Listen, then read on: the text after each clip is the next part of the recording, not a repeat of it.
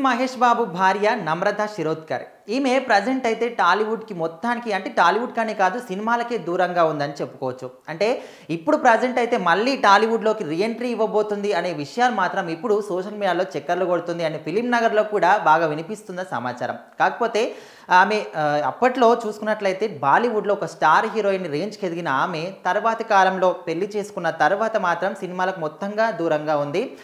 పెళ్ళి ఎవరితో చేసుకుంది అనే విషయానికి వస్తే ప్రిన్స్ మహేష్ బాబు మనందరికీ కూడా తెలుసు. వంశీ సినిమాతోని టాలీవుడ్లోకి ఎంట్రీ ఇచ్చిన నమ్రత శిరోద్కర్ అందులోనే హీరో అయినటువంటి మహేష్ బాబుతోని స్నేహం కుదరడం స్నేహం కాస్త ప్రేమగా మారడం ప్రేమ కాస్త పెళ్ళి దాకా వెళ్ళడం. రెండు వేల ఐదులో అగ్నిసాక్షిగా వాళ్ళిద్దరు పెళ్ళి చేసుకున్న సంగతి అందరికీ తెలిసిందే. తర్వాత వాళ్ళిద్దరికి ఇద్దరు ప్రజెంట్ అయితే ఇద్దరు పిల్లలు కూడా ఉన్నారు. సో పెళ్ళి చేసుకునే ఒక ఇయర్ కన్నా ముందు రెండు వేల నాలుగు వరకు కూడా ఆమె సినిమాలో కనిపించింది. అదే లాస్ట్ అని కూడా చెప్పుకోవచ్చు. సో ఎప్పుడైతే పెళ్ళి చేసుకుందో రెండు వేల ఐదు తర్వాత మొత్తం సినిమాలకే దూరంగా ఉంది నమ్రత శిరోద్కర్ అని చెప్పుకోవచ్చు. సో మరి తర్వాత తర్వాత కాలంలో పంతొమ్మిది వందల తొంభై మూడులో ఆమె అయితే మిస్ ఇండియా యూనివర్స్ కూడా ఎంపికైన విషయం అందరికీ తెలిసింది. తన ద్వారా మహేష్ బాబు కూడా ప్రపంచవ్యాప్తంగా అందరికీ కూడా పరిచయమైన సంగతి కూడా అందరికీ తెలిసిందే. సో మరి ఆమె అందం పరంగా కావచ్చు నటన అభినయం ప్రతి ఒక్కటి కూడా అందరినీ ఆకట్టుకున్నాయి. అండ్ తర్వాత కాలంలో ఆమె సినిమాలు అంటే తెలుగులో ఒక అంజీ సినిమాకు అంజీ సినిమా వంశీ సినిమా కూడా బాక్స్ ఆఫీస్ వద్ద ఆశించినంత రేంజ్లో మాత్రం కలెక్షన్లు రాలేవని చెప్పుకోవచ్చు. సో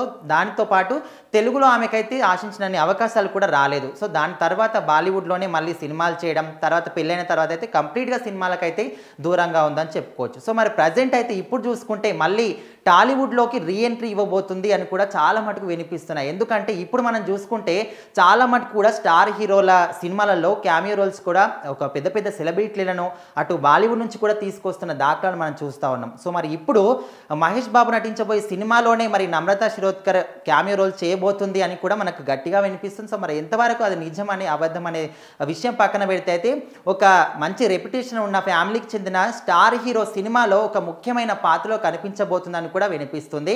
అయితే ఆ పాత్ర కూడా చాలా ఇంట్రెస్టింగ్ పాత్ర. ఎట్లాంటి ఒక నెగిటివ్ పాత్రలో కనిపించబోతుందనే విషయం అయితే ఇప్పుడు మనకు వినిపిస్తుంది. సో మరి ఎంతవరకు నిజం అబద్ధం పక్కన పెడితే సో మరి ఆమె నిజంగానే టాలీవుడ్లోకి రీఎంట్రీ ఇస్తే ఇదే నెగిటివ్ క్యారెక్టరే ఆమెకి ఇస్తే ఖచ్చితంగా సూపర్ స్టార్ ఫ్యామిలీ అభిమానులందరికీ కూడా ఇది ఒక గుడ్ న్యూస్ అని చెప్పుకోవచ్చు.